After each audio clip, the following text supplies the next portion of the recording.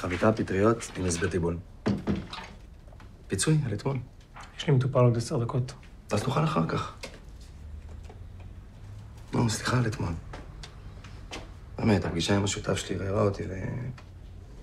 זה הבן אדם שאתה? סליחה?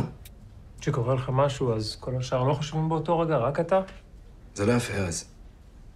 אוקיי. מה קרה לך אתמול? בוא נשמע. אתה יודע מה, לא משנה. לא משנה, גם ככה לא יעבוד בינינו. אני לא עוזב פה עוד שבוע. אני ממש לא רוצה שזה יעבוד בינינו. בדיוק. אז היה נעים להכיר. לאן עכשיו אתה עוזב? לנורבגיה. עוד פעם אתה עוזב את הילדים האלה? בוא'נה, תשמע, אתה... אני מה? אני מה? נו, בוא, ארז, בוא תספר לי מה אני. ספר לי, נו. בוא, לא, כי אתה מושלם, נכון? אתה עושה הכל בדיוק כמו שצריך, נכון? אז בוא, תרגיש קצת יותר טוב עם עצמך, תספר לי כמה אני גרוע. אתה לא גרוע, אתה סתם פחדן. אני חייב לעזוב. באמת. איפה האקדח? מה?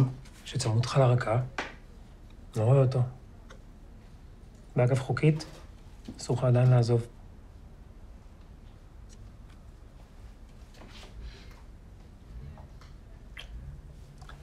תדווח עליי. תיאבון.